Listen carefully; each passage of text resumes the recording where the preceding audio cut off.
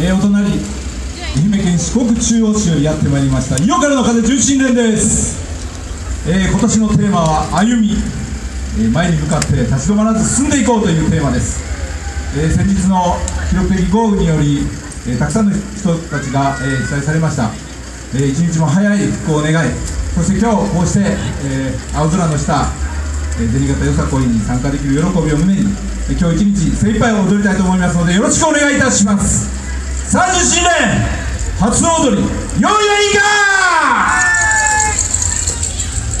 それでは参ります。湯からの風重心殿構えてせい！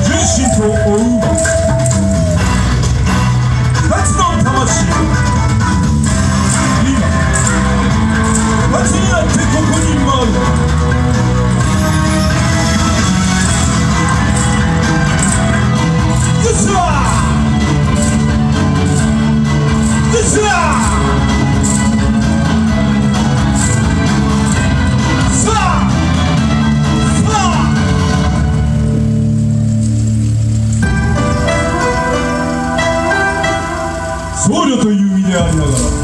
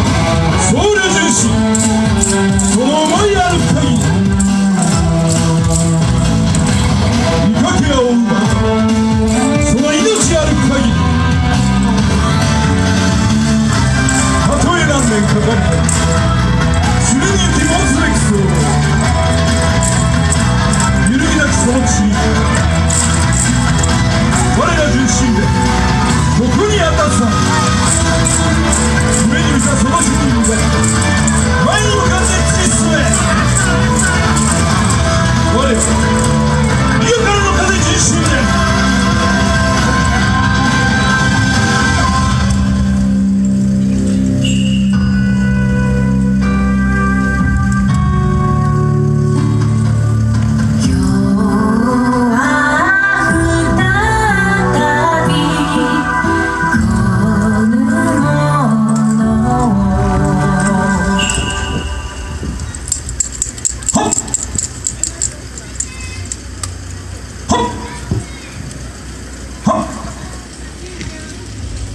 様に礼ありがとうございました。